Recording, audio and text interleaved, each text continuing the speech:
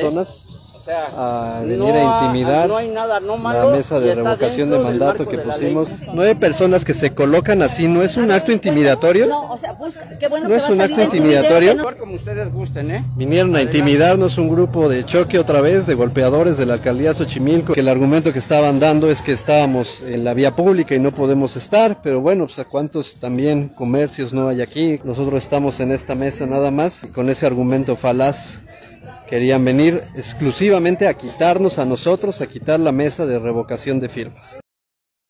Ya vienen otras personas a quitarnos de aquí, que en el mercado no, que porque el mercado es del alcalde de Xochimilco. Están monopolizando aquí. ¿sí? No, ¿cuál queremos- monopolizando? queremos Yo no estoy monopolizando. Nosotros estamos con el alcalde.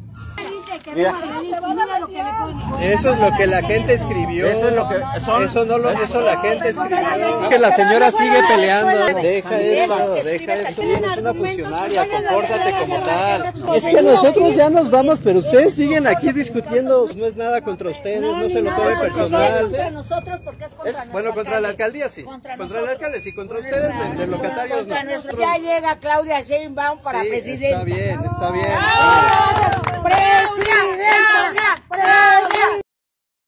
Hubo un intento de represión, de intimidación, para intentar que no pusiéramos la mesa de firmas afuera del mercado, en la calle, afuera del mercado Xochimilco. Solamente es una expresión de ideas, una opinión muy respetable como la de ellos, como de la gente que, que piense que el alcalde es muy bueno, pues adelante, pero nosotros no vamos a ir a correr a la gente de la calle que opine que el alcalde lo hace muy bien. Reiteramos que para nosotros queremos dejar este precedente de que en Xochimilco estamos a favor de la libertad de expresión, estamos a favor que se ejerzan los derechos de participación dentro de la alcaldía, que no haya represión, que se ejerza adecuadamente el presupuesto, que dejen de existir estas mafias que existen a nivel local, estos operadores políticos, estos golpeadores a cargo del alcalde, y si un gobernante no cumple y un gobernante reprime, un gobernante es autoritario, lo tenemos que sacar a volar a la primera.